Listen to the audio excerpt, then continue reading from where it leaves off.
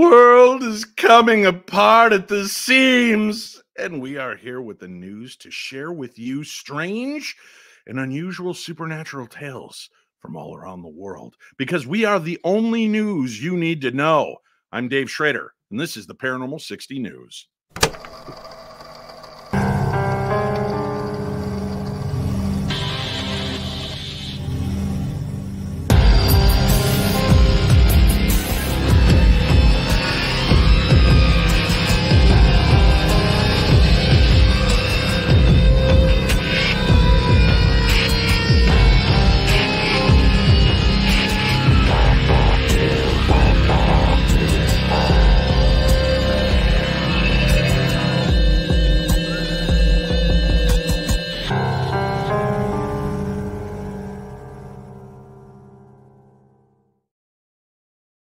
Hello. Good evening, my little darklings, and welcome to this All Souls Day edition of the Paranormal 60 News. I am your host and anchor on this lovely program, Dave Schrader. And tonight, tonight we have many things to discuss, and we are introducing you to a new member of our correspondent team.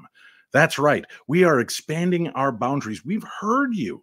You've said it's time you show some diversity, Dave. It's time that you stretch out of your comfort zone.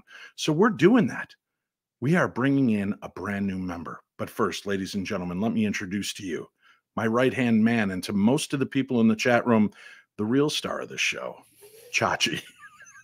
Hey there. Jeff. I usually uh, get to go last. I know. No, you're usually right hand man right there. But ladies and gentlemen, the colonel still working for FEMA. So the next man in line to take over the kingdom Succession of darkness, planning. yes, is the paranormal detective Greg Lawson, who's also here. Mhm. Hello, Greg. Hello, old buddy. How are you? I'm doing very well. I have uh, have a drink ready and uh, Mhm. looking up to get my stories, and I'm good. Good. Uh, excellent. I like that you're just now getting prepared. Perfect. That's all we need. We have a special guest joining us a little later on in the program who's here to join us and go over a brand new movie review. But first, it's time, as I said, let's get diversity on the show. We need to bring something a little different to this show. And we've had many shades of facial colors from jaundiced Marty to plum headed Greg and Oh, I don't know. watching, It's Marty, gotta be means that a nice avocado Dave, and then there's you. Just that light looks good on you, Chach. I don't know. It looks like you're almost using a filter. Are you using a filter? He's using a filter. Look at him. You Mm. like that? Well, to add to the diversity of our Yes. program, I decided it was about time we bring somebody with an entire brain cell in. So here is your Mm. diversity, ladies and gentlemen, from Into the Obscure podcast, now part of the Paranormal 60 news crew for What? the foreseeable future. Tressa Slater. Hi, Tressa. What? Jeez. You brought a Hi. professional into this? Uh huh. No, Um, man. Yes. No nerves. She's also a comedian, so she's bound to be funnier than any of the three of us put together.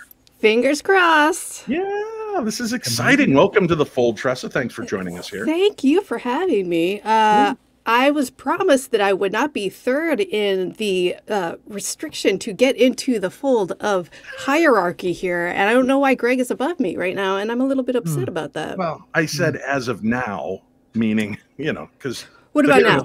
Now you're What in. about now? Thank you. You're now you're second. Thank Let's uh, let's get started the right way. I did tell Tressa that if she's coming, she had to Mm. bring a drink along. So what have you got there, uh, Chachi? What is your drink of choice for tonight? Well, now that we have turned the calendar to November, Uh huh. it is a Shiner Holiday Cheer. Oh, Fun. Yes. So what is that? A beer? Is it a champagne of beers? Is it a? It Is is it an cider? ale brewed with peaches and pecans. Oh, very. You're dipping into the Greg Lawson uh, drink book of fruity fun. Tell me, I prefer to have my bourbon or scotch, but uh, this is all I had available. All right. Oh, really? Yeah.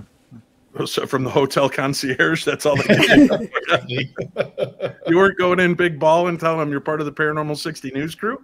and they gave me a six pack for ten dollars. Oh. That's not not too shabby. Greg, what have you brought to drink with us this evening? Oh, I think I'm going to polish off this uh, Buffalo Trace. That's right. Wow. Hashtag Oh, jealous. Way to be in control. Tressa, what drink have you brought to share? Well, I stopped by the 7 Eleven and I got a bottle of barefoot wine. Nice. You did bring a What? professional. Yes, 7 Eleven. Did you Mhm. get any of that fancy cheese in a can that you've shared with me before? Of course I did. Are you kidding me? Yes. Tress is like, who needs crackers? Open up your mouth, Schrader. Thank you. I have got something. This was gifted to me. I just came back from the haunted Shanley Hotel in Napanoch, New York. Amazing time. If you have not gone, please go. But stay tuned because medium Scotty and I will be returning, I believe, in April, and we'll have some updated information on that. But it's well worth visiting. Melinda Freeman came. She brought Winnie a giant bottle of Fireball, which No. sadly didn't make the trip. I don't know what Oh happened. Melinda. no. Those Oh, airlines. gone. Yeah, I think it was stolen right out of the bag. Yeah. But she brought something for me, and I was excited because of the name on this bottle. It is a Fayston Maple Imperial Stout, aged in Mad River Distillers rum barrels. It is Lawson's finest liquors. Can you see Lawson's. Yes. Oh yeah. that? Lawson's. That finest liquors. sounds delicious. Have you tried it yet? I have no. The whole Anything idea is to bring it on air. Right. And then I love that uh, the back of it says um, brewed by Lawson's finest liquids. Nowhere on here does it say beer or anything. It just says that's what stout and say. liquid. No, wait, that's what we say. Is that what the family calls it? Just liquid? Yeah. Is Yeah, there alcohol in it actually? Greg, get your paws some liquid. Is that what? Uh, is that how it went down? Yeah, Ooh, he was nice great, dark. man. Look at how dark. Then he that makes is. a cookie pot pie. He'd take me out That is shooting. He'd go, "Run, boy, run!" He was great. Look I at that. That is dark. Holy smokes. Mm, it's got a nice. That's uh, what they say earthy- about. It's got a nice earthy head to it. It's a, it's a good. Let me. I'm gonna give it a shot. My first shot here. I'm Do it, telling you, coming it. off of the old uh, uh, Affy Tapple beer was a bad experience. Oh God. Here we go. Greg's face and Tress's shirt, they do match. That's why we had to put them on separate screens. Let's see. Oh, I love it. it. Oh, come on, Dave. Come on, turn that thing up. Mm. I want. I want to see your um, mustache turn a different color. I, re- I really like it. It's, Come on, it's man. delicious. Bring back the No, I peanut do. I butter like whiskey. Very good. I gotta save it because I've seen your guys' stories tonight, and I have a feeling we're gonna need a drink. Um, speaking of needing a drink, I called out to you, my lovely legion of darklings around the world, and I said, This is October, and I need you to go out and rate and review this show wherever you listen to it on any podcast device, especially Apple Podcasts. And six of you responded, Thank you Wow. so much. My favorite. Ah, that's so nice. I said it's real simple. Just give five stars. It's even written in the show guide. Five stars. Say something a little nice. Somebody did not follow the the directions. Let's look at this. I'm a little confused by this. Maybe you guys can help me. Okay. Iggy Dog says, "What happened after the split from Darkness Radio? The show started off great, but since then it's in full decline." See, The weekly paranormal news show is hit or miss with two hosts missing. Honestly, I don't think there's been a show for two weeks. Next, let's talk about stuffing your channel with other podcasters' content because that's what happens here. Currently, there are at least two other con- content providers that Dave puts on. And when there is a show with an interview, Dave always does a great job, but it's just not consistent. I have Hmm. not missed a week since I began every week there is two episodes there's the the monday night episode and the wednesday night episode so i'm not sure what they're missing and i, I even cleverly named the episode the paranormal 60 so you know which one is me on that list wow. iggy dog yeah iggy dog bro I feel like I'm getting called out right now. Like, uh, Oh, Tressa you got a problem Slater. with me? i did run a little uh i did run a little scan on this and iggy dog also happens to be t slater 312 Three seven two. yeah it's uh i don't know any I- I, a I- neighbor maybe riding in on your I- internet yeah, I have a lot of Hmm. enemies, so eh. a lot of enemies that was good thank you, What was- Donna C. Thank Yeah. you. what is iggy dog smoking and uh, i do want to thank everybody uh, for the lovely donations our super chat super sticker super likes are all on feel free to throw some cash our way and i will definitely use it for my needs and ill-gotten gains uh, you can also throw some money at the uh, venmo at paranormal60.com but why don't we give you some content so that you feel like you're getting Hey. something in return let's try this Yeah. and and when there's weeks we had a show, Dave. yeah, I know. There's, I I want, you know, when when we're coming out swinging, I gotta have my my guy, I gotta have my man, G Law, jump in here. Ooh, that's a good nickname, G Law. Hey, buddy. Yeah, that's a pretty good one. Hashtag G Law. Uh, G Law, you've got a story for us, and this Oh, is hey. yeah, this is. Oh, do Oh, you I have? didn't know that's where we're you have 'em going. I handy? didn't know that Did you print one out? going. Yeah, yeah. Yeah, they used to call me Laws Man. Laws Man. Let's just Yeah. stick with G Law. G G Law. All right. Yeah. So uh let's go. Hey, Yeah. let's go someplace. Let's take a little trip. Okay. Let's go to let's go to Ecuador. Oh, Ecuador. There. Schoolgirls mysteriously collapse after using the devil's board, also known as Ouija board. It didn't say that. I just threw that in there. really hard Um, to tell. 20 schoolgirls from St. Francis of Assisi Education Center in Shushu. A sissy, not a sissy. And St. Francis, Dude, I was- I your was- ass for calling him a sissy, I think. Excuse me, I was uh, baptized there, so uh, carry on. Oh, that makes sense. Um, at Go. that place in Ecuador, Mhm. reportedly collapsed using a Ouija board during school. The mysterious event occurred on Monday, October 30th, and has left local communities confused and frightened. Mhm. Dave, That's just like me after my first sexual encounter, confused and frightened. it, according to eyewitnesses. And a daddy.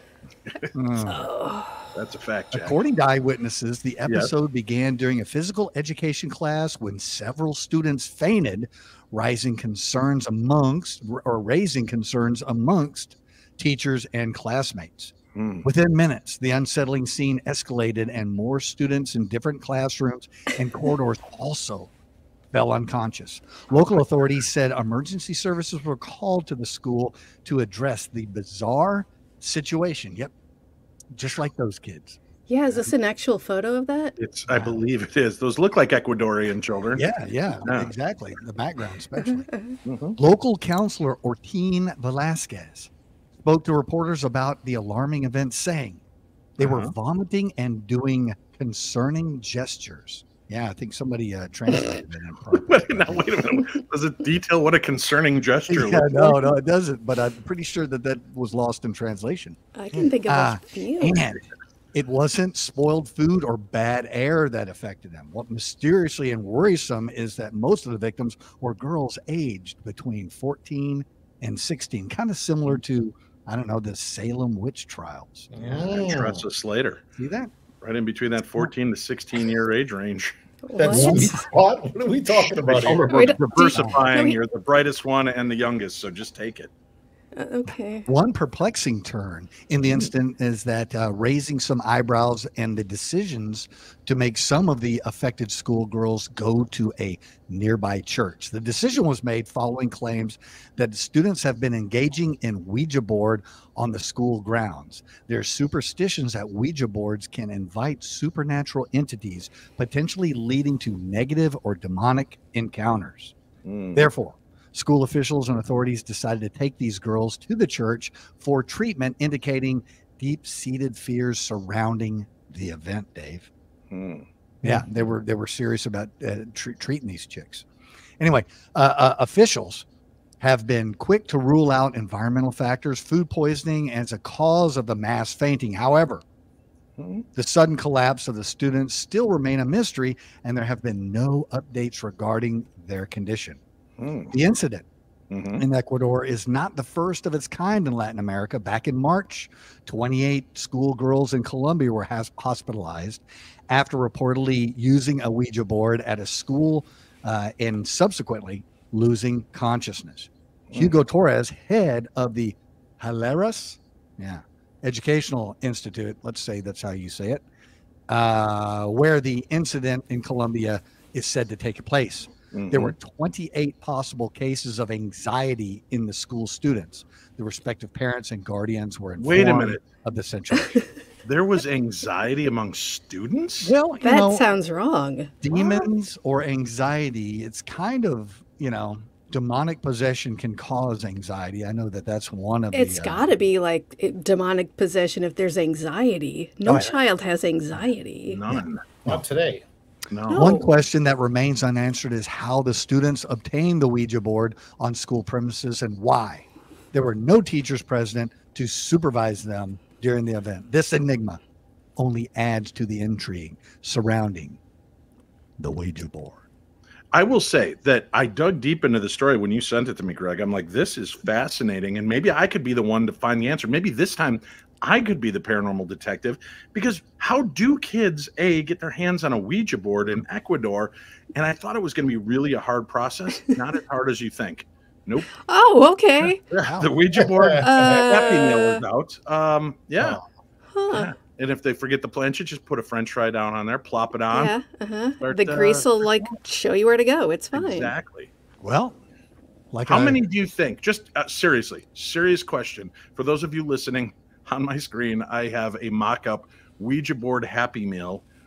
I'm serious. How many do you think they would sell Oh my God. if they put that out every Halloween? There would be lines around the building. They would sell out every single time. Every Yeah. time. Yeah, do you, would you give like in one box there'd be like a little jar with a soul Razor in it? blades? Uh, razor blades. No, What? How do you play the Ouija board, Craig? This is starting to make It so much more sense of the trauma Yeah. you've been through. Yeah, I didn't understand what we were talking about, but it makes sense to me. it's hard to That's all that pick up on matters. Yeah. Uh, everyone, please get Craig's book. It's great. Thank you, Loki. Boy, if Thank you. only we knew what book she was talking about. Is there anything that you have out now, Greg? Oh, there's messages from Mothman. I'm glad Loki liked it. Thank Is you. it a specific Mothman, or kind of is he being generalized? It was it Well, many? Know, yeah, people look at uh, the uh, the messages that they interpret from Mothman, and I kind of relate that to a lot of things. And if you just Oh. pay attention to what's going on around you, maybe you'll find that message only meant for you. If you pay attention to the message, it might just pop right up for you. Is that it? All right. It's good to know. No, thank you very much for the information. Uh, Tressa, real quickly before we, we allow you to, uh, I Oh. shouldn't say that. It comes off so Yeah, more, weird. uh, yeah, domineering when I say it to you. Uh, Uh-huh. before you break into your very first news story, Wow. can you now you are one of the three hosts of Into the Obscure, which can now be heard Wednesdays right here on the audio Paranormal 60 uh, audio channel. That is but- correct. Tell me uh, what what brings you into the paranormal? Have you had experiences, or are you one of those that hopes to have an experience? I didn't know you were gonna ask me questions, dude. Uh, yeah.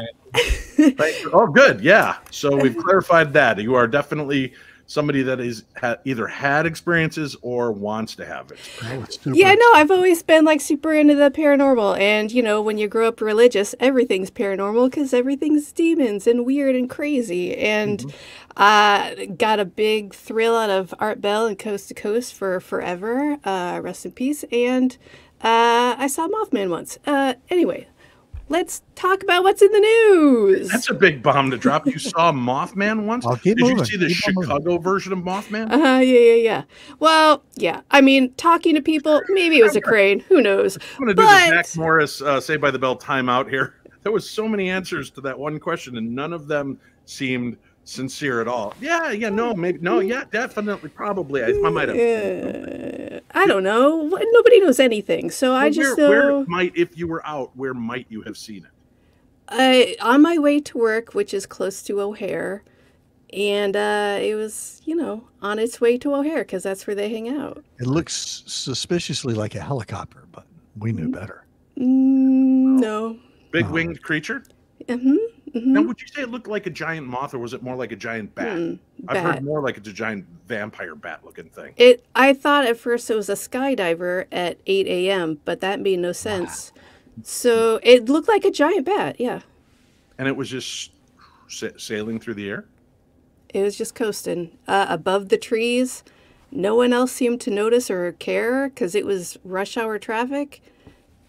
It was wild. I, don't- I don't know. Uh, Uh, Bat Squatch. Yeah, that's what I'm talking about. That's right.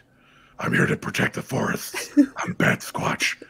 Um, all right. So you you saw a Bat Squatch, or you saw a, uh, Uh-huh, a Mothman character. mhm, You've mhm. seen uh, you, ghosts. Have you ever seen or had an encounter with a ghost? I don't think so.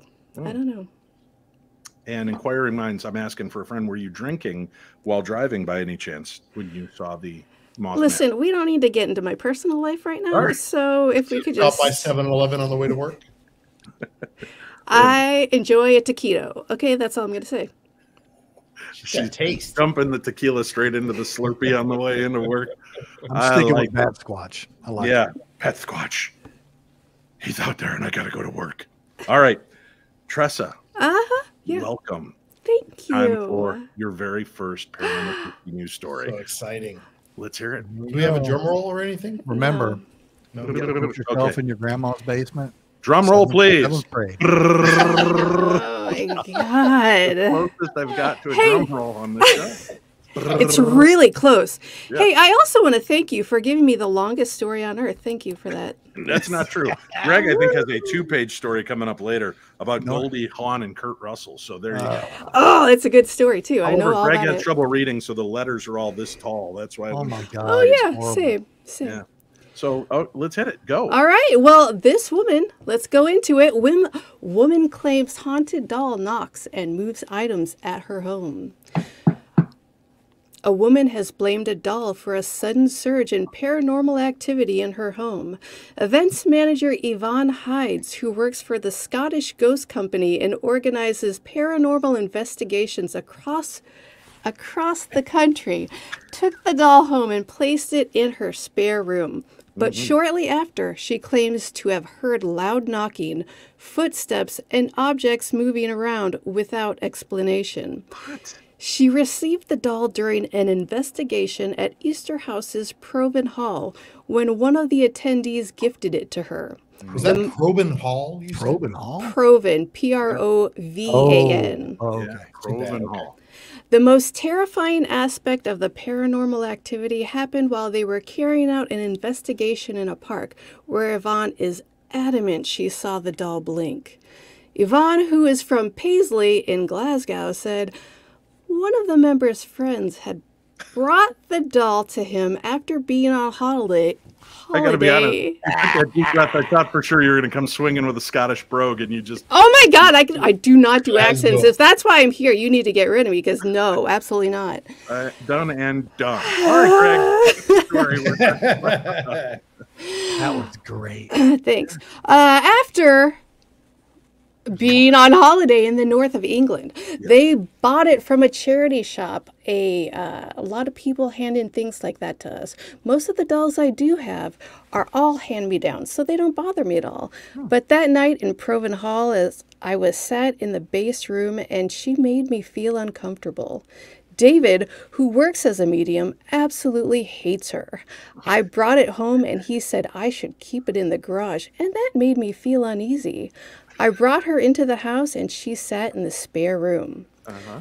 A couple of days after bringing the inanimate object home, the family heard a loud knocking coming from the door and later move and later from above. Oh, yeah.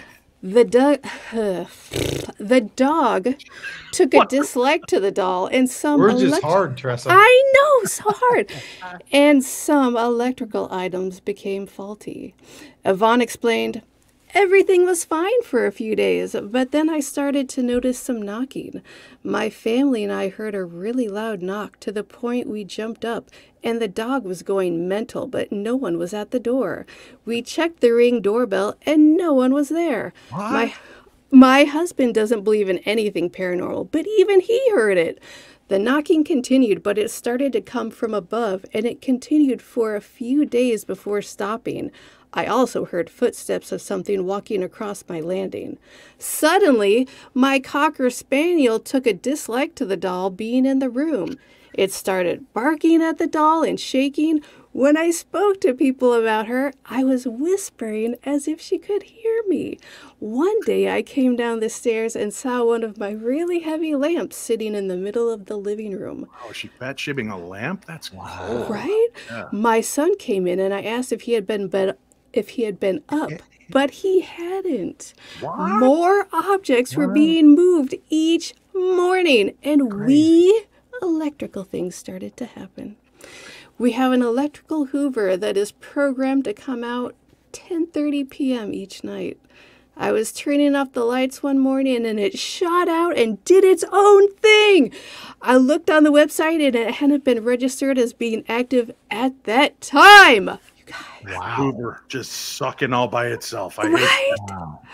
After a few nights of the unexplained activity which had occurred since the arrival of the doll, fondly named Agnes, Yvonne's friend David, who also works as a medium, decided to take the toy to his house. She said, David took her home reluctantly and sat her on the seat beside his piano. Hmm. better than next to his organ. I mean, same diff. Wow. Am I wrong? Isn't that crazy, you guys? Hey, It dude, is. don't you have a story about a doll? You are so natural. It's like you were made for this job. Thank I, you. uh, I am. I've been Here's doing a lot thing, of though, work Dave. lately, and I've been going places, doing things. I've been on the Jason show here in Minnesota. It's shown in like six, seven different states. And Jason has me in in October to go over ghosty, weird things. And um, I brought in some haunted dolls, and I was telling the stories. And then we get to the commercial break, and Jason says to me, Hey, would you mind if we sent one of these dolls home with our camera guy and made him keep her for overnight? And I'm like, That's totally cool. He could have all five dolls. And they came back from break, and we actually caught this on film. I'm pretty psyched about it. Let's uh, let's go ahead and show this now. Okay, let's get to it. Let's get to it. Forget the music. Cut it, Leo. Okay. Dave Schrader, uh, a couple segments ago, said, "Hey, Eric will be able. Photographer Eric can take the haunted dolls home." When I said that on the show, we're gonna roll it. Watch the blonde doll. Okay? He turns to look at me when I make that announcement. Look at this. This is no joke. To take one of these dolls home in the overnight or two. Whoa! Did you just see that? What happened? Little Miss No Name just turned to you as you said. It did. Did you watch it on film? Yeah. Well, one going home. Okay. Okay. Again, watch the blonde one. And Dave did not move, right, Dave? Dave, we were still on the couch. We weren't going like this. Look at this again. This is no joke. To take one of these dolls home in the overnight or two. Whoa! Did you just see that? What happened? Little Miss No Name just turned to you as you said that. It did. Did you watch it on film? Yeah. Well, that's the one going home with Eric. Yeah. And also my arm, because I saw my arm, my arm was out here with Dave. It wasn't by the dolls, FYI. Well, nice knowing you. Nice knowing me. Nice knowing photographer Eric. now you don't have to buy him nuggets ever again. We'll never have to buy him food ever again. That's Friday. You'll see the results of that. Right now, go out there and be yourself because nobody can tell you. So he took the dolls home, set them up around his bed. He had to sleep in the basement. His family was not happy that he brought these dolls home. And then he like goes for the full on spook factor. He puts all the dolls around the bed and puts candles in front of them all. And then he films them. And in the morning, he wakes up to the sound of his wife yelling and he goes upstairs. All of the cabinets and drawers in the kitchen are open. No. Yeah. So I was slated to go back in yesterday to pick the dolls up and hear about the aftermath from the experience. And we have had horrible weather here in Minnesota the last few days. And I'm driving in, I get there safely. And as I take the turn and I'm coming in slowly into the parking area, all of a sudden my car just goes out of itself, just controls and slides right down into the median post. So about 10 minutes before showtime, my car ends up looking like that. Oh, dude. Yeah. And you can see how hard I hit. You can actually see the indentation of the pillar in the hood of my car. So I drove it over, parked it, being the consummate professional that I am. I went in, did the show. I have no memory of what I said or did on the show. I was so out of my head because of the car accident. And they give me back the bag of dolls. I go into the green room. I set it down. I put on my coat. My insurance company calls. I leave. I have to drive that car to the shop, whatever. Long story short, I left the bag of dolls at the and I just realized it last night. I text the, the producer. I'm like, hey, I think I left the dolls there. He's like, yeah, we thought maybe you were doing that as a joke. I'm like, no, man, I was so scrambled from that car accident. And he goes, yeah, things got weird. So today on the show, Jason was talking about the fact that I had left the bag of dolls and he didn't know about it yet but his phone kept playing music by itself backstage and just kept going off. What? He blames me and my cadre of Eh. haunted dolls for this weird moment in time. Those are demons. Look at that. Crushed up the darkness mobile. Oh, thank you, Ben. Cool, Tressa. Welcome as the newest host on Chachi. Wait, what? God, it is Did you It put is- that up, Dave? Paranormal 6. I did not. Oh, that's so nice. of Yeah, you're the only other one with that ability, you schmo. Right. so all you're right. not going to go get those dolls, right? You're going to leave Uh, those, right? I'm, I'm considering just leaving them there to rot now, but uh, no, I'm going to go get them. I've got to bring them home. Before we go any further, we have to take just a quick break, and then we've got a brand new movie review Five Nights at Freddy's. That's next, right here on the Paranormal 60. Hey, this is the last time you're going to hear about it this year. The ninth annual New Jersey Para Unity Expo is taking place this weekend at the Woodbridge, New Jersey High School. It is an awesome location. This is the third year I've gone, the ninth year they've done it. We pack this school. There are going to be a, a- an amazing assortment of speakers. Um, you've got Steve and Dave, Sherry and Jason from Ghost Hunters. The three Ghost Brothers are going to be on site. Adam Berry, Chip Coffey. You've got the Destination Now Project Fear Kids. You've got John Zaffis. I'll be there. So many other wonderful speakers. It's an amazing weekend filled with lots of cool paranormal talks and opportunities to meet and greet with all of us. There's VIP parties and more. You can get information at New Jersey ParaUnityExpo.com. Hey, maybe you're looking for answers and you just don't know where to go. You want a little bit of counseling from the other side. Well, why not reach out to Winnie Schrader with Love and Lotus Tarot? She might have the answers you're seeking. Give her a call, reach out through the scan me code that's on the screen right now, or just go to paranormal60.com. That's paranormal60.com. Click on the Love and Lotus tab and book your reading now. You'll be thankful that you did. All right, we're back. And now it's time to do a little thing that I like to call. Let's see if I can find it because I'm old and have to look on my my readers now. Okay, here, here we go. This is a little segment of the show I like to call It's time now for Upon Further Review. Hmm. All right. So joining us here, my boy Charlie got to go see the sneak preview of the brand new movie Five Nights at Freddy's. Uh, the kids in my house are Five Nights at Freddy's fanatics. I don't know because Chachi and, and Greg, you're old. Maybe you're not familiar with this. Are you guys familiar with the Five Nights at Freddy's? I, yeah, I'm familiar. We we had it on virtual old kid. reality. Well, Did you weren't you? really taught Mhm. Chachi or Greg, though. Yeah. Wow. So I like that you're assertive. That's good. Uh, I didn't even see either one of their lips move when you answered either. That was If Tress Really is talking, amazing. I'm not talking. She I don't blame good. you. Thank you. Yeah. Let's take a quick look at the trailer and then we're going to throw to Charlie.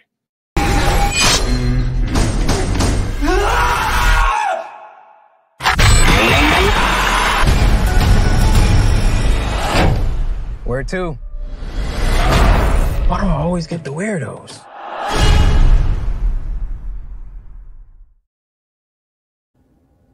at Freddy's is out in theaters right now. You can also stream it on the Peacock Network. I got to tell you, I was excited about this movie for one reason and one reason only. One of my very first jobs was working at Showbiz Pizza.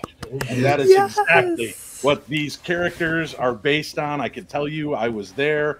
I got to work when it was first Showbiz, and then Chuck E. Cheese bought it out. And then I was the only guy tall enough to fit in the rat costume. So I have many fond memories of my time there. But those animatronics did freak me out. I'm not kidding you. When we were closing down at night, there was times you'd be in there sweeping all the garbage up in that room, and all of a sudden one of the bears would move, Nope. and oh, that'd be the end of. Or you'd hear the of the music, and there, yeah, it was not a place you wanted to be late at night. So I totally get and uh, where this is coming from. And Billy Bob and the Rock-afire Explosion, yeah, that's how big a nerd I am. I still remember them.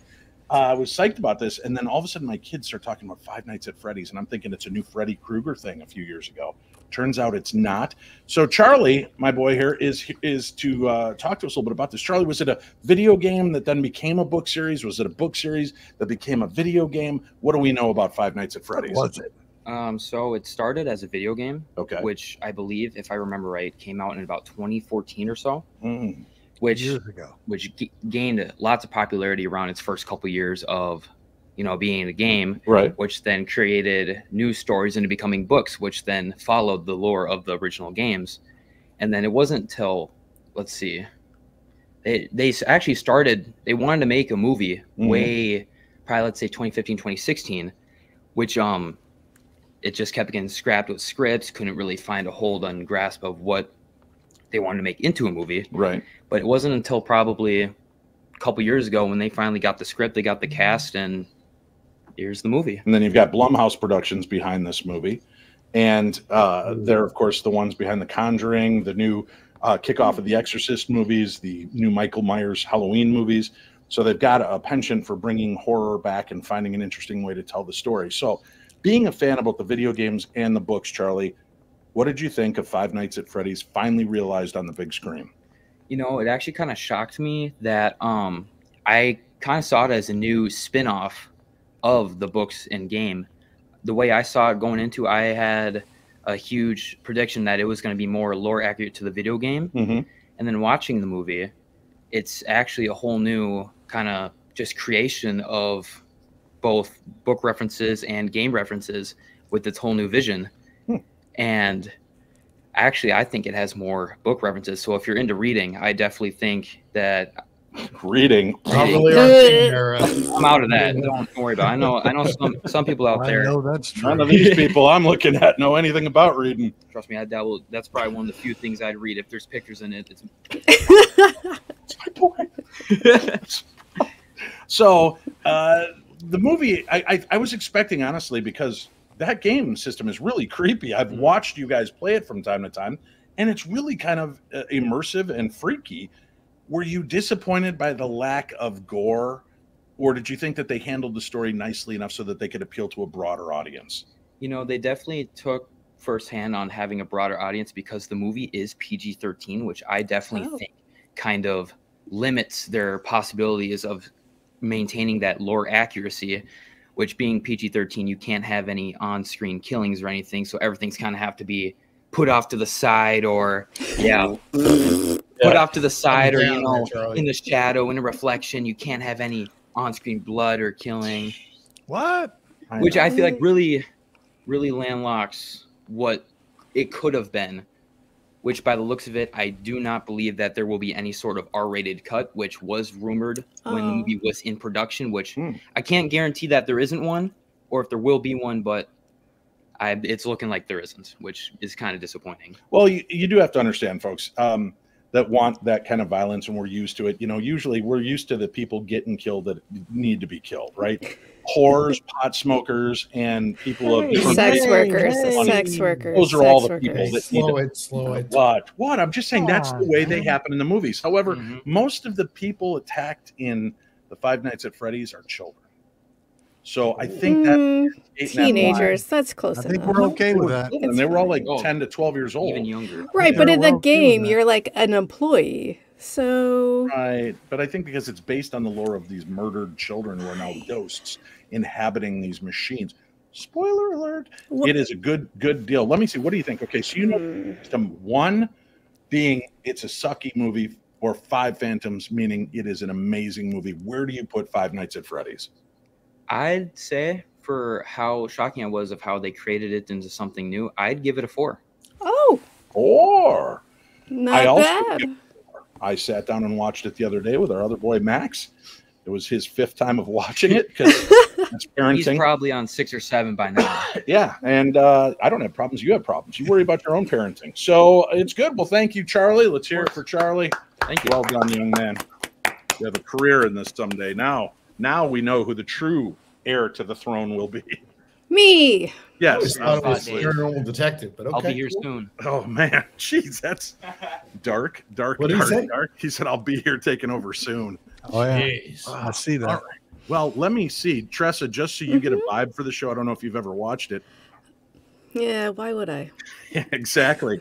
Um, we are now officially 41 minutes and 37 seconds in, and we are about to go to story number three for the news. Chachi, you have the con, sir. And how many stories are there tonight? 27? Yes. Wow. Excellent. Yeah, not so much. Not What so much? Okay. No, no. Come on, Well, push listen, through. I just want to bring us back. Uh, everybody, get your drinks ready, though. I've, I feel bad that I've been knocking mine out during the show because I've read this news story and I don't know how Chachi's going to get through this without us drinking Oh, everything in our house. So It's just thank you for reading, bringing that up, Dave. It's right? Just reading. back Listen. to the origin story of this show. Yeah, This was really made to be a drinking show where we read a few stories. that's And true. somehow it's become a, a show about stories, and we do a little bit of drinking. That's true. So I really want to change that tonight. Oh, Thank you. Okay. I need And so normally I'll I'll print out my stories, I'll study them for two or three days. I'll make a bunch of corrections to the verbiage I don't like. I'll, I'll, I'll make some notes about things What? that Dave gave you me. can do that? I, I can because I'm Oh. second in command, Tressa. No, I think I am, but okay, go ahead. Hold tight. And so tonight, though, Dave, hmm as you can see, I'm in quite the hostel. And so I didn't have the opportunity to print out my stories. So I'm going to read these stories, as they say in the business, Dave, raw, okay, without any edits. So all of you grab your glass. See, I already screwed up. I said glass. Grab Grab your- the thing closest to you and listen. Um, Dave, Okay. Throw up the First of graphic. uh, first of all, if we do not applaud the fact that we've already got a snort out of Tressa, I don't know why we're even here. Well what? done. What? All right. That's beautiful. Enjoy Yeah. the snort. Come on. Enjoy show the us. snort. Thank you, Kim. She sees the true power dynamic. the, here. the, the Tressa doesn't know about our, our shirts. Hold on. Hashtag enjoy No. the snort. Yes, I'm writing that down. I like it. That, that's the leader And right thank now. Thank you to Adult Tale, Five Nights at Freddy's, so scary, like boo wah ha ha ha ha ha ha. ha. Throwing a little five dollar action our way. Thank you so much. You read that Tale. well. Yeah. Let's see how well you can read now. Let's get I, going. listen, Come on. two long dead sea creatures Mm-hmm. emerge from Grandma's garden. Wow. You Uh, ready? About A grandma in Texas Mm-hmm. made a very odd discovery by taking a walk through her garden. Uh-huh. Ms. Amy Roberts was overwhelmed to find two, not one, two prehistoric fossils in her backyard in Lamar County. Was it the Colonel and Greg? Ah. Get some Uh, great jokes later in the story. Dave, hold those. Time out. Hold them. Right. Sorry. One of the animal's remains was of a creature similar to the Loch Ness monster. A Did you say creature. Yeah, a creature. It was a darker color than the rest of the ground and was slightly sunken. The next year, it was becoming more defined, and by 2023, there was no mistaking that it was a vertebrae, Ms. Roberts said of the discovery. When bones began to emerge from the surface, she knew the find would be significant. I was very excited to see the bones start to come out, and then I became a little overwhelmed at looking at the bones knowing that I wouldn't possibly extract something like that on my own. So what did she do? She got in touch with the Texas Through Time Fossil Museum. And they came and they surveyed the scene. Their search unearthed not one but two fossils. And their research suggests that creatures died while fighting each other. Nice. This, this, folks, could be if the experts' opinions are confirmed. Experts, you say. Yeah, Experts' opinions. Start drinking, folks. Not even halfway there. Uh huh. Uh huh.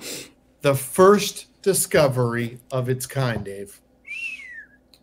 We found the complete skeletons of a Tylosaurus, a ah. type of mosasaur, and the mm-hmm. other was a plesiosaur, a short necked plesiosaur, no less, which was a marine reptile similar, as many of you know, in appearance to the fabled Loch Ness monster. Hmm. The Tylosaurus was a predatory marine reptile, much like a giant predatory lizard with fins, Dave. Gotcha. The Tylosaurus, which was a mosasaur, resembles the sea creature featured in 2015's famed movie, Jurassic Park. The dinosaur was a predator and lived in the western interior seaway. I like that highly. On. Highly says, "I speak Chachanese sometimes." Chinese. I wrote that down too. That that's Yeah. computing. Okay, got that. Um, uh, Words is hard. Yes, radiometric dating Dave, you know how that works, right? I do. Yeah. Okay. It Yeah. estimates that their age was get this Huh? about the time Greg was born 72 million years ago. And despite that, what some may call ancient status, Huh. the fossils are remarkably well preserved, much like our purple headed friend. Barney? Correct. Yes. The remains will now go through a thorough process of scientific preparation and testing before making their new home at the Texas Through Time Museum. The examination of the mosasaur skull is mm-hmm. already near completion. And Ms. Roberts from Lamar County, Texas, was Mhm. delighted to have played her role in the discovery of the ancient species. As she should be. When I got a chance to interview her, she said, I am thrilled with the finding of these creatures and the new friendships we've made with Andre, his family, and his team. Now, what I don't understand is who is Andre, but we'll get back to that in another story. Okay. I can't wait to see these wonderful fossils displayed at the museum and to show my granddaughter what I found. Hmm.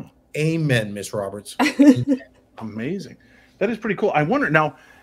I- I wonder if they suckered her into, oh, do you want to donate these to the museum? Because I think like intact, full scale Worth bones and nothing? junk. I can't think of the word fossils. Yeah, they're worth like a lot of dough. Oh, are they at a? Mm, that Didn't like sounds Nick wrong. Cage pay like millions for one years ago? Yeah, he was trying to buy the Elephant Man though. That's um, yeah, was the may been a, uh, it was a man. yeah, with uh, That's it. bad plaque and tartar buildup on his teeth. I believe. Mm-hmm. Yeah.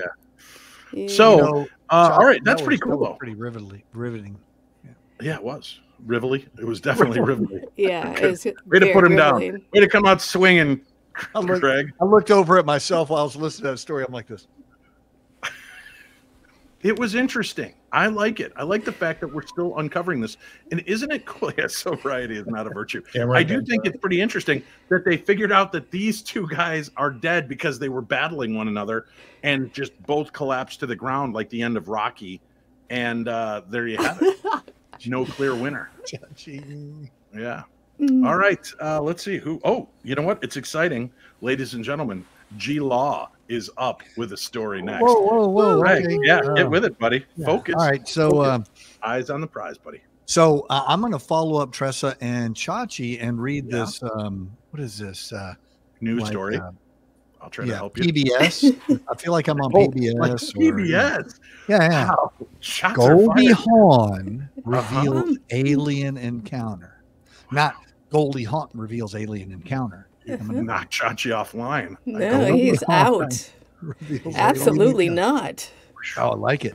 Mhm. Goldie Hawn opened up about her long held belief in extraterrestrial beings, saying that they visited her after she called out to them when she was 20 years old. There she is. Look at them. They're like uh, communicating there. Um, that was a time when, you know, there was a lot of UFO sightings. Hawn said about her time working as a dancer in California in her early 20s. Huh. I remember it so clearly, she said. I went outside my door and I sat on a little ledge and I looked up at the dark sky. I saw all these stars, and all I could think was, how far does it go? How little are we? Are we the only planet in the whole wide universe that has life on it? You know, those things that we all think about when we look at the dark, dark sky.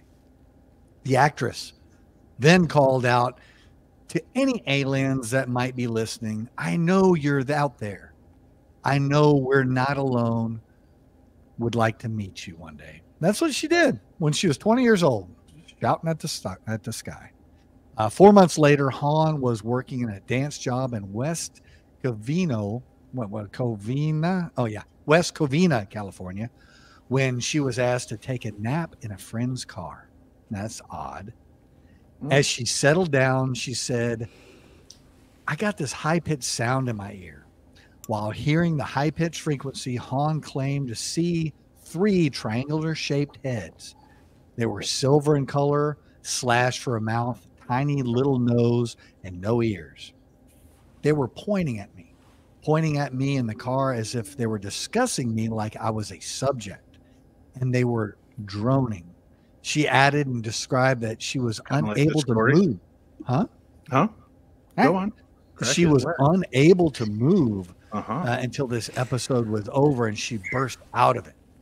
Getting emotional, Hawn spoke about the aliens. She said, They touched me. I felt the finger of God. It was benevolent, loving feeling. This was powerful. I was filled with light. Hawn would later go on and study crop circles and dreamed about seeing aliens again night before a mysterious circle appeared near where she was staying. We got to the spot, and by God, I was standing on this hill looking down over the valley that was dark. That was exactly the spot in my dream, she said. Whether or not these experiences were genuine, Hawn has remained captivated by the concept of aliens and was proud of her curiosity. We can never lose our wonder, Hawn said. It's just so fun. I really, I really am. Im- it- it- it's really an important aspect of Oh. being an adventurer, and nothing is impossible. What? Back to you, Dave. No, Sorry, we there's were a whole other page. writing I gotta catch up, that story. There's another page, Greg. There's another page. Uh, Oh God!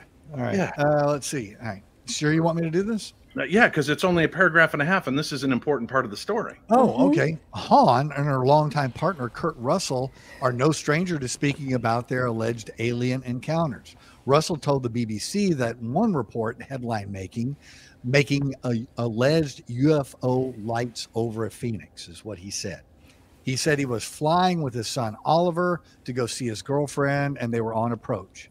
He said the 27, uh, 2017 interview I saw six lights over the airport in absolute uniformed V shape. Oliver said to me, Pa, what are those lights? Russell continued. Then I kind of came out of my reverie and I said, I don't know what they are. He said, oh, Are we okay?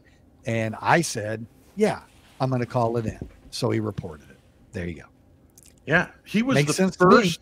He was the first civilian pilot to call in the Phoenix Lights. Mm, Yeah, don't- I love that story. Yeah. It's so good. Do you?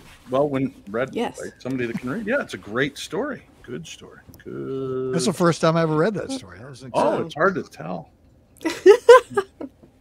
Try it. Um, Tim, uh, I not you- apologize. I know that I went away for a moment. Yeah. For you, had, Oh, it's okay. It was re- just really uncomfortable, the whole thing. I don't need to know that you had that. Let's just get to it. Tressa, your second story. Good lord. Uh, Hey, yeah. Now the, the upside Tressa is Uh-huh. now see what you're up against. So pretty much All right. Hey, you guys want to hear about another celebrity that had a weird story? I'll tell you right now.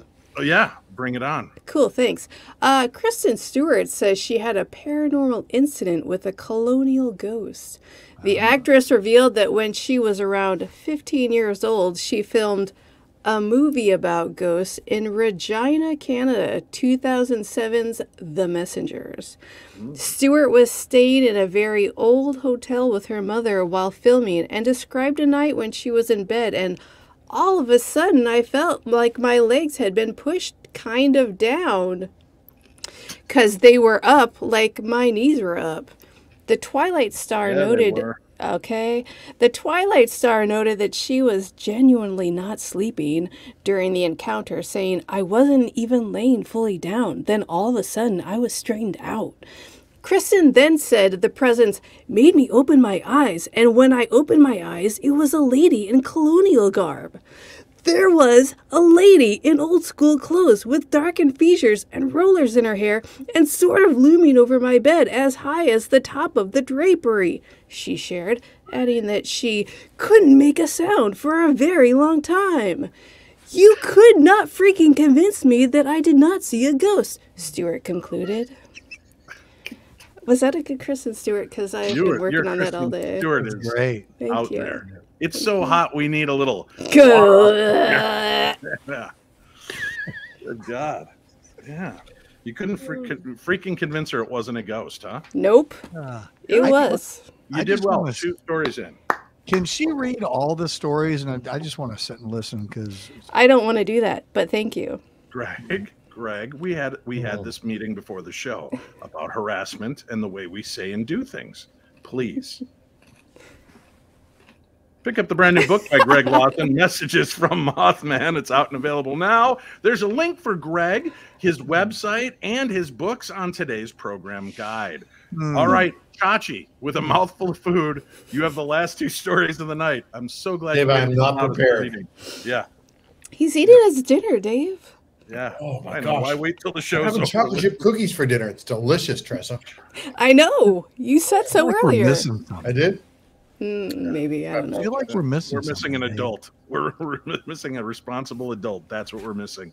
Mm. Oh yeah, wash those cookies down with some more Christmas Bach Excuse me. beer. Okay. Oh, nice. Ready? Born ready. Mm, Was Let's that your go. shirt?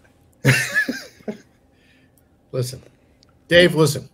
Yeah, What is my favorite thing other than the paranormal? Tressa, Bourbon. Want to guess? Uh, is it bourbon? That was a good guess. Thank you. she's right, actually. All right, what's my third favorite thing after the Scotch. paranormal and bourbon? Scotch.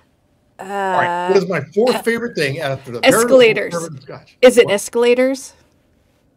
We, we could do this all night. All right, I'm just going to jump right in. Is it rock and roll paranormal stories? Rocket- When your buddy knows you, right? That's a hashtag Mm. romance. Thanks, Dave. Yeah, you got it. I've got not one, but two back to back stories. Uh, Dave, two. Two, two. Oh. All right, let's go. Oh, go. it's going to be about one- music. Mhm. My first Oh. one, Tressa, you're going to like this. Am I? Yep. You sure? This this is your doppelganger. Mm, I I like the way that sounds. about Britney. Especially in that picture. yeah. I mean, thank you. Oh, okay, here we go. Britney Spears. God damn. oh my goodness. Uh, come on, Britney Spears. What? Come on, Is that man. minutes into the story, we've only heard the word Britney. Spears. That's all you need to hear. She's going to recall an eerie paranormal experience that she had. Okay. She was on a road trip through Arizona with a friend who was also nursing a broken heart. Now, granted, this was 2002, but they together had a very eerie experience. In her hit memoir, that is not the Britney of today. The Woman in Me, Britney recalled, we felt it at the moment because we needed it. We were so spiritually open and so raw. It showed us there was more than just what we could see. The pair were letting off steam with their hair blowing through the wind in her convertible car. Why did I know he was going to put that out? This is not fair. You got to do this earlier in the show. You know the Gotta put that fire out, man. Gotta put that fire out. Yeah. That's going to extinguish the fire. When suddenly Britney felt an eerie feeling settling over her. She added how it was a profound beauty, quite otherworldly and downright humbling. The lucky singer, Mm. and when I say lucky, that's the name of her song, contemplated asking her friend if she believed in aliens. However, she stayed quiet and sat there with the feeling for a long moment. Britney thought it was only her that experienced it until her pal asked, Do you feel that? Do you know what that is? Yeah. I knew it. I freaking knew it. I knew it. I tell you what, if Uh, you might are the not greatest gift watching I've this, It's just one of the best. all right. Um, she added, We felt it at the moment because we needed it. Don't put it up there. we were so spiritually open and so raw. It showed us there was more than just what we could see. Just me. understand how hard this Not is. just me. The 41 year old pop idol previously described her car as her spaceship. Mm, That's where she goes to That's be normal. spiritual. Yeah. What? No GIF? What? Where's the Popeye GIF? What? Spiritual? He will just run Popeye gifts and then Uranus stories for an hour. We don't need that right now. If I could, I would. Oh my God. Ah. Talk amongst yourselves. I have to clear my All right. Well, I'll tell you what we'll do. Since Let's- you've got two yeah. rock and roll back to back stories, let's break go. it up with. It's time now for Paratunes. Thank you. Thank you very much. Thank you, Dave. Yeah, ladies and gentlemen, we have a brand new Paratunes. Greg, introduce this for us if you would. Man, this is great. Um, I was talking to Blinddog uh, about doing some stuff out in West Texas. We were actually looking for a missing girl and um, told him a little bit about the story. He actually had some background on the story. Um, we ended up doing a big dig and we destroyed somebody's backyard uh, looking for this this girl and couldn't find her. Um, the idea is still out there and we're still trying to figure it out. But he ended up writing this song, man, and um, I love that guy. What's the name of the song? Killing in a small town. And it's by Blinddog. The best.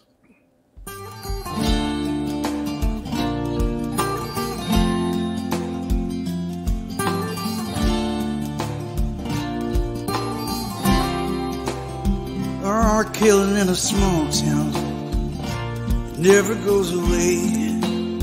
Their souls still hang around now with something more to say. The voices of the missing, the voices of the few that try to tear it all down. Speak to me and you. God help them if they're out there some dark and endless night. Maybe they just got lost somewhere on the way up to the light. A kill in a small town. It's never really gone.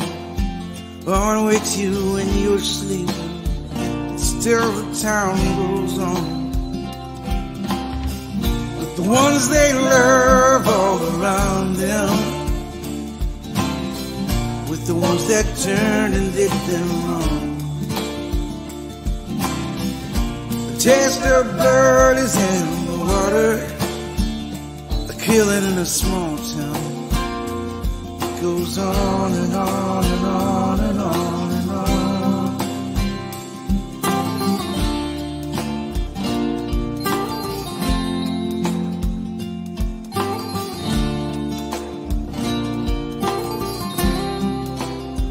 Their voices on the radio, voices in the air. Sometimes you just fall silent with the rumors everywhere.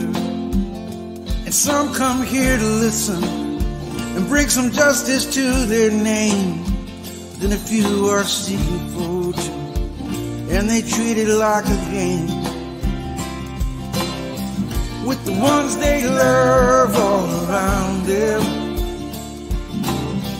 Walk the streets with the ones who did them wrong.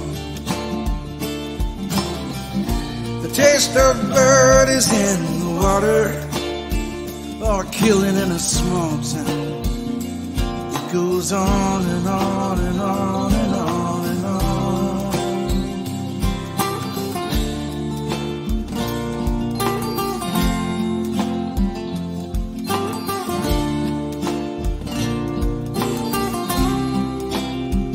Everybody's got a story, and some of them are lies, but they blend into your memory, and the truth is hard to find. But when you think about it, man, it chills you to the bone. Or killing a small town, oh, it's never really gone.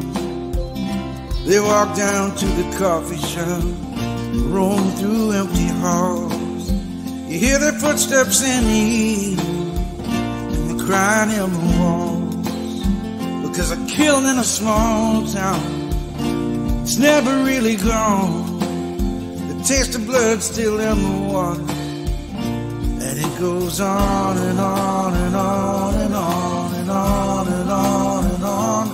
It goes on and on and on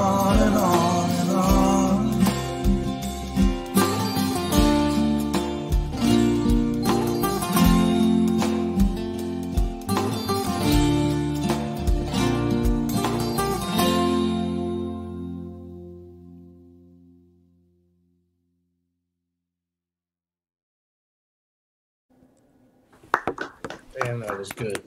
Yeah, beautiful. What a haunting melody. Great song. Very good. Mark even kicks in with a little great song. Sad it had to be made, though, you know, but excellent tune. Great stuff. Uh, Donna C weighs in and says, makes me think of the DeFeo murders in Amityville. Oh, yeah. Wow, from Paranormal Pixie. That about sums it up. All right, we gave you a All right, little well, have a good night, to- everybody. What? No, no, What? no. You still have more stories to read. Really? Yeah, get to it, or I'm Ah, sending these guys after you. Showbiz pizza, baby. All right, listen. Uh-huh. You ready, Tressa? Yeah, I am. You- Go. Darius Rucker Ah, recalls yeah. being. That's a very young Darius Rucker. That's a good man. He, he recalls being visited by the ghost of what he says was his grandmother. Aw. College was a formative time for Darius Rucker, and not just because that's when Hootie and the Blowfish got its start. In a recent appearance on my favorite talk show, The Kelly Clarkson Show, Rucker shared that he came face to face with a ghost when he was a student at the University of South Carolina. Even though the spirit was that of a family member, the experience turned him into a lifelong believer in the paranormal. Rucker told Clarkson that the encounter occurred shortly after he and bandmate Dean Felber moved into an off campus house, which they furnished with hand me down furniture. I had my grandmother's bed. My grandmother had just recently died, he recalled. And I wake up one night, three o'clock in the morning. I look at the edge of my bed, and there's my grandmother sitting there. I sit up, I wipe my eyes, and I go, wow. And what happens? She's still sitting there. I get up and run out of my bed. I run to Dean's room, and I was like, yo, Dean, my grandmother's ghost is in my room. Can I sleep in your bed? What? Oh, I knew. I, I was reading. I was like, skip this line. Skip this line, Chachi. Nope.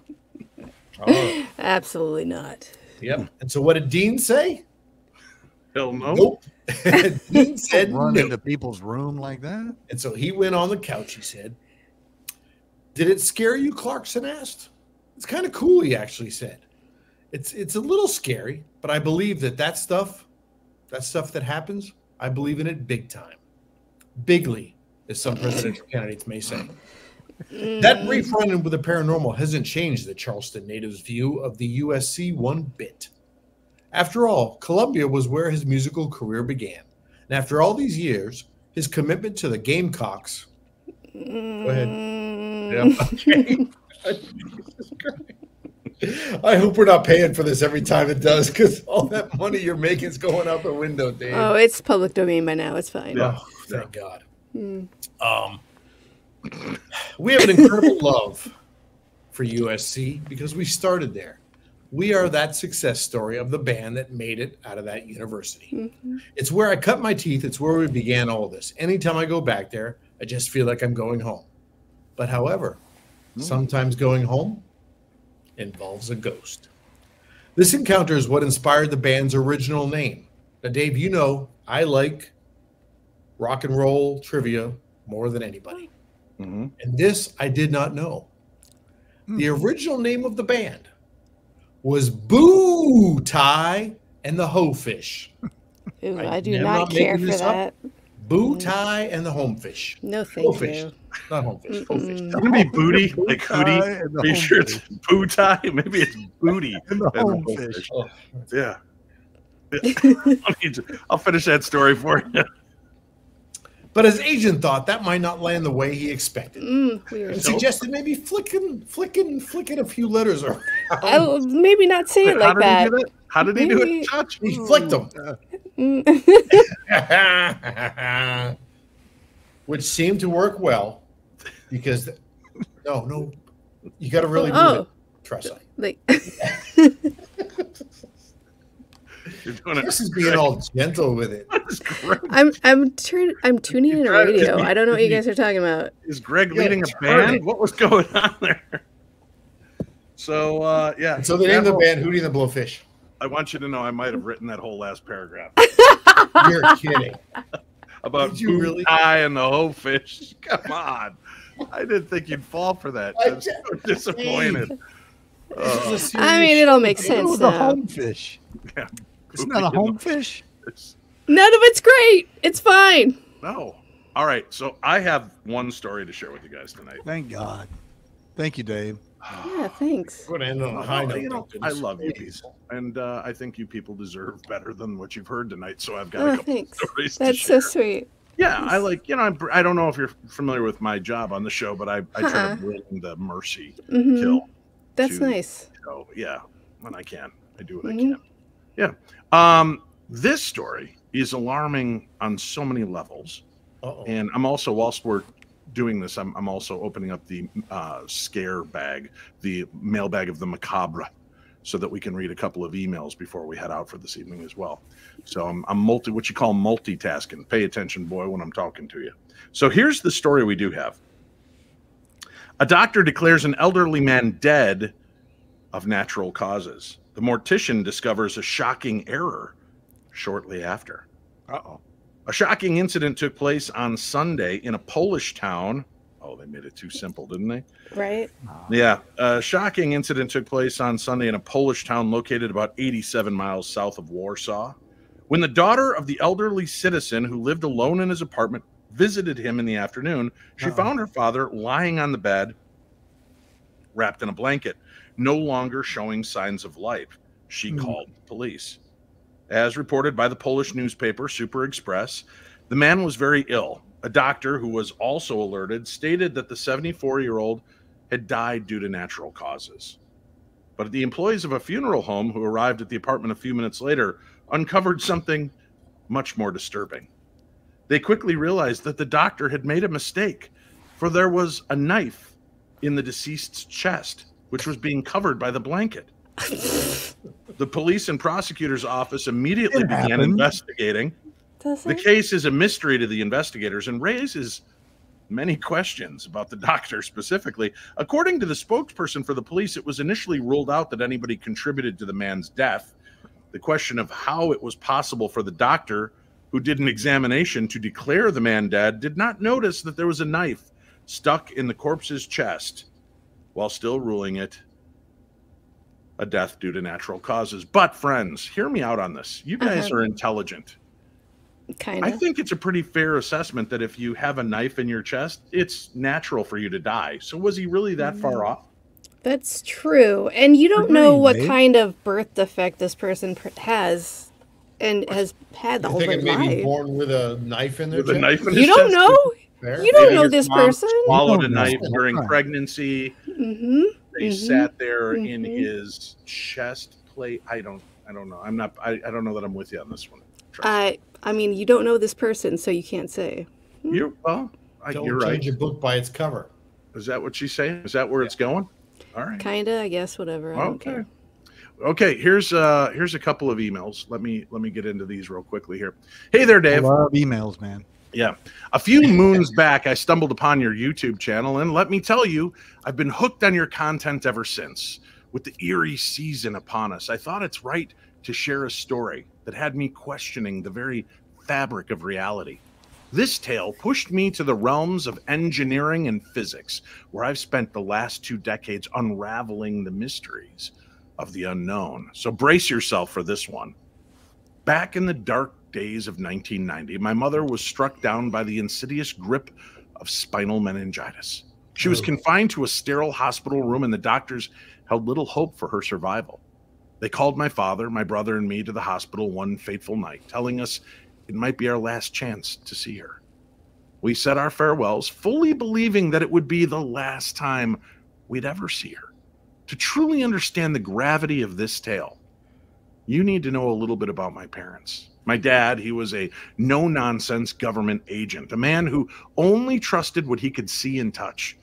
My mother, on the other hand, was a devout Irish Catholic with a penchant for the supernatural, the kind who believed in sugar on windowsills and irons over the door. She had a keen analytical mind honed during her years in law enforcement. Now back to the story. That night after we left the hospital, something inexplicable happened. My mother claimed that she woke in her frigid room, the air feeling thick and oppressive.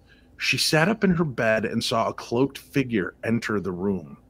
The man had a strong Irish accent and sat down in the chair that my dad had occupied just hours before. He pulled back his hood, locked eyes with my mother, and took her hand. And in a voice that sounded as rusty as old hinges, he told her, You can't hide from me. He tilted his head slightly, grinned, and whispered, I'm not here for you, kiddo. I'm here for what's most precious to you. With a kiss on her hand, he vanished into air, chuckling as he went. I'll see you soon.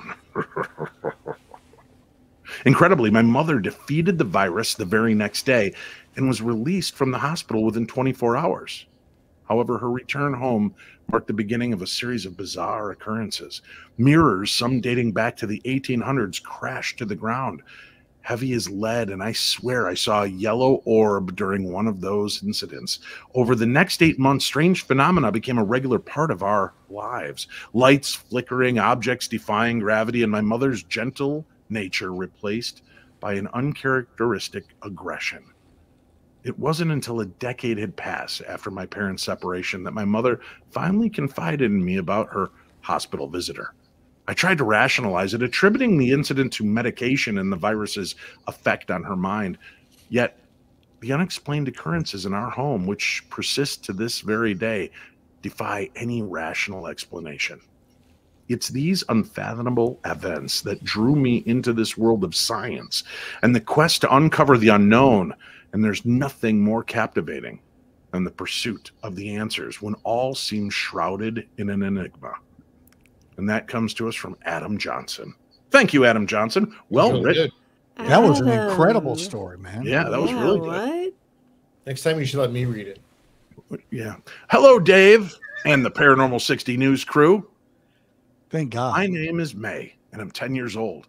I got to meet you at hmm. Phenomicon in Vernal, Utah. When you had your presentation, you mentioned the Paranormal 60. My family listened to it on our way home. A couple days ago, I was listening to an episode, and you talked about ghost pets. That got me thinking about my experiences with my own ghost pet. I had a kitten named Sprinkles that died about two years ago. I felt Sprinkles with me when she died. That night, I stopped crying, and something happened that made me feel comforted about her death. I saw a fuzzy image of a blob like thing. It had the same colors as Sprinkles, and it just felt like she was saying, I love you and I miss you. I told my mom and dad about this, and they just thought it was a dream of her coming to see me. Then one year later, I was in bed to fall asleep, waiting there, and I had little kitten feet walking on my feet. I got up wanting to pet one of my two cats, but nothing was there. Later on, I've been having more experiences in dreams. I had the most weird experience happen a few weeks ago. I was on my bed petting my two cats when I heard something scratch my cat tower in my room. I thought it was a third cat, but I was petting and I looked at my other two cats instantly and I knew it was Sprinkles with me at that moment. I really miss Sprinkles and I hope to have more stuff happen to me. And Dave, is your cat mischievous or evil? May Baker. Well, May, I am responding to you on my podcast as you requested.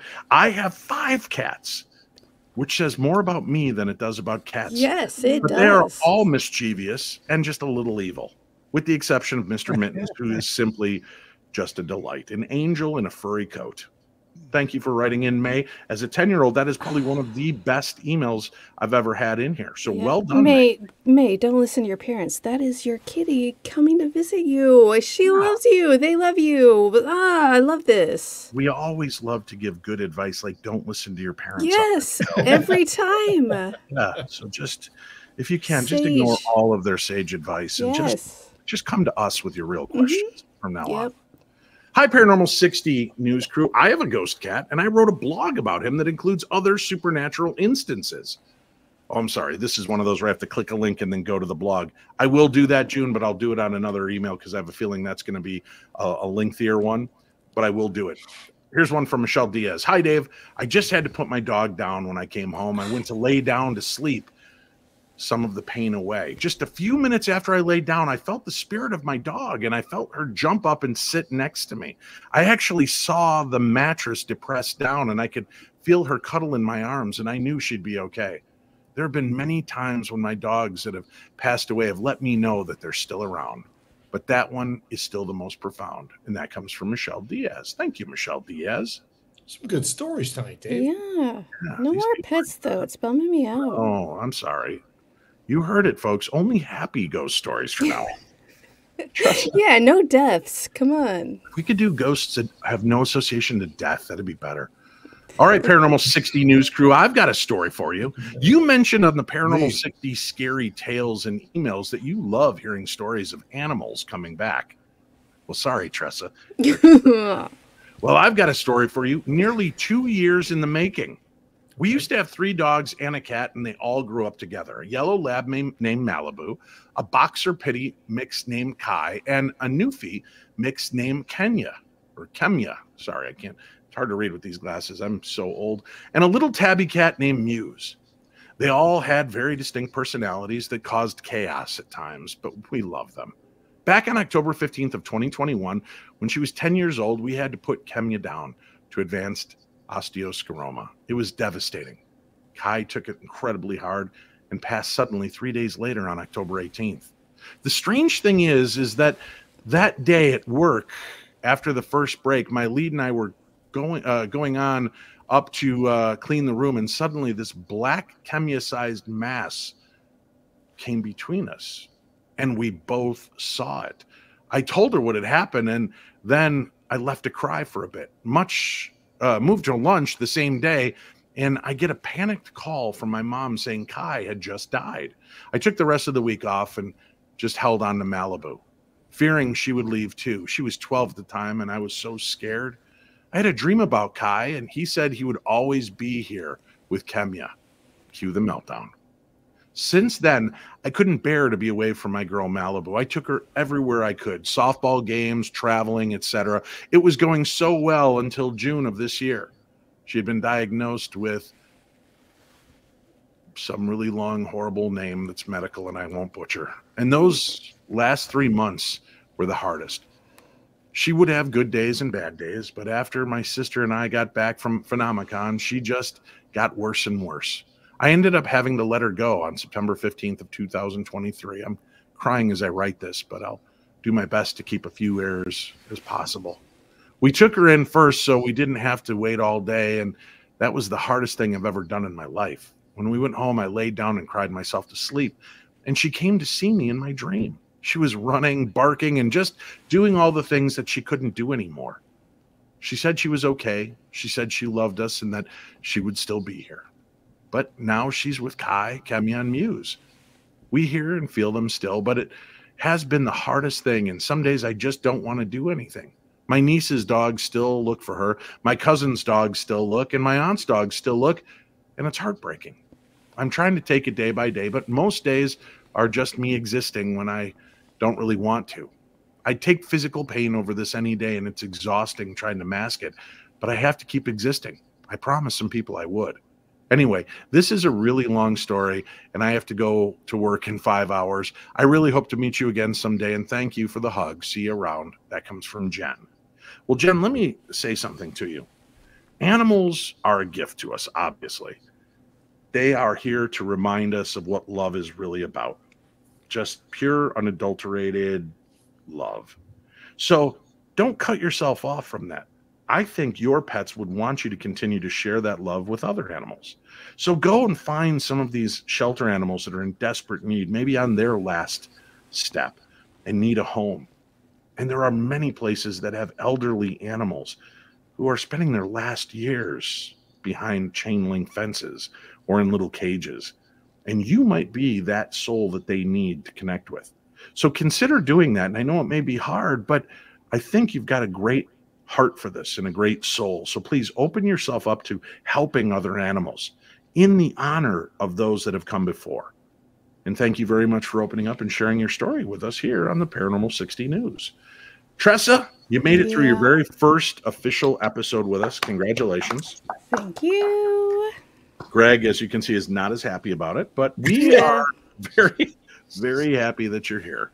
And I'm uh, very happy you're here, Tressa. Ah, thank you. Yeah. I will. Uh, we'll be back again next Monday. We've got uh, some more cool interviews lined up, and then next Wednesday with more paranormal news, strange hijinks. And if you have any interest in connecting with the people on the show, except Chachi, we have now added all the social medias, all the links for each one of us on the program guide. Chachi being kind of on the lam from the man he really likes mm. to just go by Chachi and does not mm-hmm. have any social media. He's probably the smartest of all of us because he is truly unplugged, except for mm-hmm. these 60 to 385 minutes of Wednesday Yeah. that we spend together. It's all the murders. It is all the murders. Hey, hey, Dave. Yes. Is Greg going to be doing anything this weekend? oh, that's it. That's it. I'm out. I'm out. I'm Greg, Greg, have you got something going on this weekend as well, Greg? Oh, well, you know, Dave, uh, why don't you run that uh, clip again? A little, uh, that, that'll be good. Yeah, Uh-huh. perfect. Uh, Look at the way he's that- clinging to that hose. Go ahead. A lot of putting, a lot of putting out fires. Uh, we'll be in Jefferson at the History Haunts and Legends. Um, I, I believe uh, there will be a Nikki Folsom there as well. Really? Uh, and yeah, we'll be uh, we'll be speaking on uh, that kind of stuff.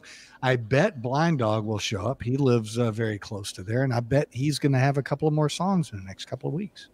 Excellent. We're getting very close to having enough for him to do his full Paranormal 60 Sessions album. We're expecting to roll out. And as soon as it does, we'll let you know where you can get the downloads of that show. Before we say goodbye, here's one more important announcement Innovation, creation, vitality, and joy are the pulse of mysoultopia.com. With many custom creations for the mind, body, and spirit, along with classes, intuitive sessions, coaching, and healing energies. MySoultopia.com strives to bring sophistication with a twist to the metaphysical and the holistic market while raising the community's vibration and channeling the new paradigm, which means new and exciting adventures for all. MySoultopia.com is utopia for your soul. Visit MySoultopia.com, your one stop shop for all your metaphysical needs, offering hand selected crystals and crystal jewelry with prices to fit every budget. MySoultopia.com offers the best selections of tarot and divination cards by top designers, expertly curated and award winning book collections from top authors on every subject you'll need on your spiritual journey.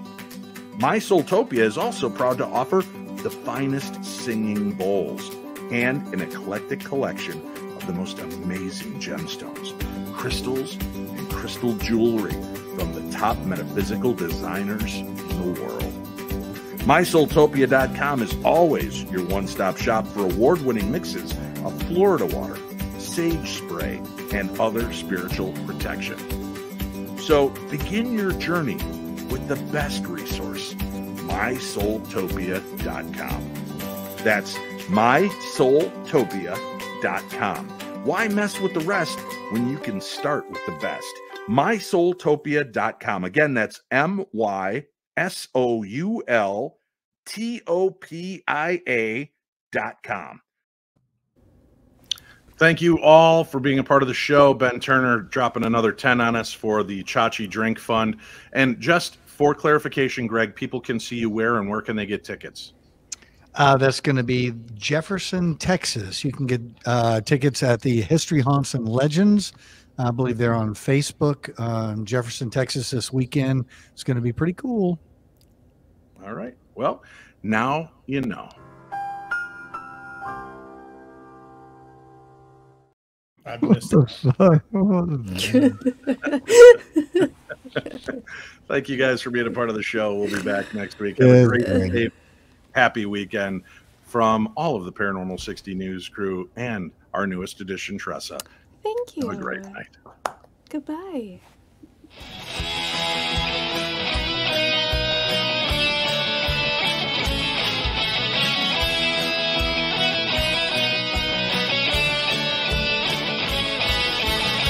It's Wednesday night and I'm alone. The paranormal 60s on. It's just for paranormal freaks like me. With poltergeist and ghosts and blues and UAVs. You miss a word, you do a shot. It starts to snowball and we laugh a lot. It's just like drinking with your TV friends. I'll be passed out before tonight's show ends. Dreaming the aliens are taking me away. I'll go wake up till sometime late on Saturday. It's Wednesday night and I'm alone. The paranormal 60s on. Schrader's on. Schrader's on. Schrader's on. Chachi and the Colonel and the Paranormal Detective, always traitors copy and they all won't be directed. He's got protective bracelets and some crazy magic tricks. Even Scully cannot save him from the voice of Stevie Nicks. Schrader's on.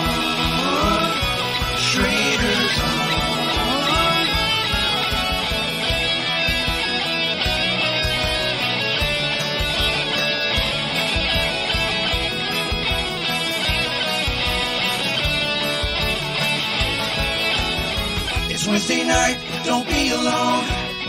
The paranormal 60s on. Now one day Dave might even put me on his show. There's a ghost in my mom's basement, man. I live down there, I know. It's Wednesday night, don't be alone. The paranormal 60s on. Schrader's on. Words is hard.